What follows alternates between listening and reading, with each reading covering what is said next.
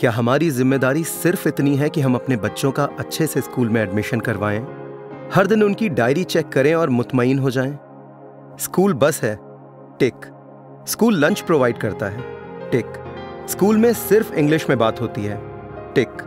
School में बड़ा सा प्लेग्राउंड है, टिक।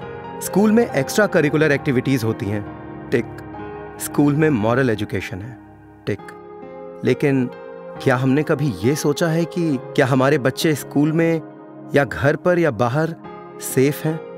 बच्चों को अच्छे कपड़े और अच्छे अच्छे टॉयज से ज़्यादा आपकी तवज्जो या अटेंशन की ज़रूरत होती है। स्कूल पर या घर पर, गली में या फैमिली फ़ंक्शन में आप अपने बच्चों से बेखबर ना हो जाएँ। चाइल्ड सेक्सुअल अब्यूज हमारी सोसाइटी की एक बड़ी बीमारी है और कड़वी हकीकत है। और ये कोई इक्का दुक्का इवेंट नहीं, बल्कि ये बहुत प्रिविलेंट है।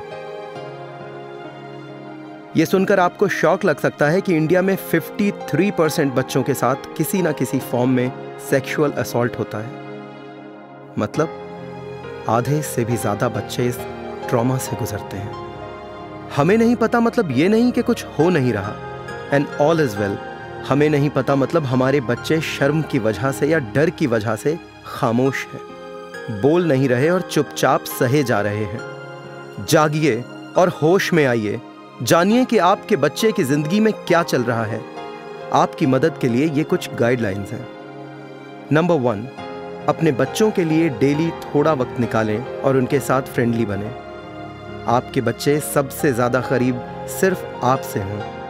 वो आपके साथ इतना कंफर्टेबल हों कि हर बात बिना झिझक और बिना किसी डर के आपसे शेयर कर सकते हों।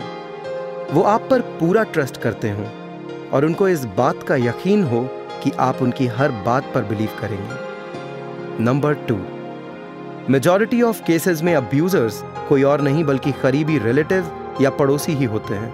अपने बच्चों को रिलेटिव्स या फ्रेंड्स के यहाँ छोड़ने से पहले इस बात को इंश्योर करिए कि वो वहाँ सेफ़ होंगे, खासकर फ़ंक्शंस में और वेकेशंस के टाइम नंबर थ्री पता रखिए कि आपका बच्चा, आपकी बच्ची स्कूल में किसके साथ रहती है या रहता है। अगर वो कम उम्र है तो उसका हाई स्कूल के बच्चों के साथ किस तरह का इंटरेक्शन है?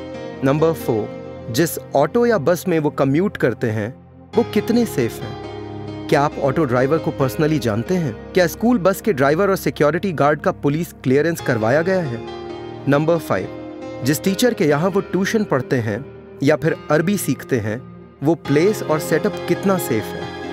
नंबर सिक्स अपने बच्चों को पहले से अवेयर करवाइए।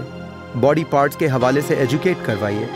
उनको फ़िज़िकल टच की तमीज सिखाइए कि एक मुशफिकाना या कंपैशनेट टच में और एक सेक्सुअल टच में क्या फ़र्क होता है। तभी जाकर वो सही टाइम पर आपको अलार्म कर पाएँगे। नंबर सेवन, अपने बच्चों को निडर और बहादुर बनाइए। ऐसे इंस्टेंसेस में नो कहने की हिम्मत उनके अंदर पैदा करिए। नंबर एट, अपने बच्चों को बोझ समझकर कम उम्र में स्कूल में एडमिशन ना करवाएँ।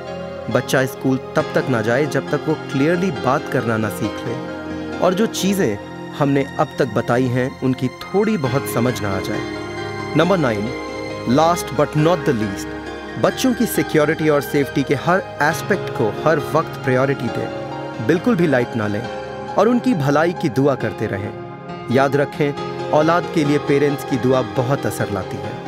हादसे के होने का इंतज़ार मत करिए। आपके बच्चों की सेफ्टी आप ही की ज़िम्मेदारी है।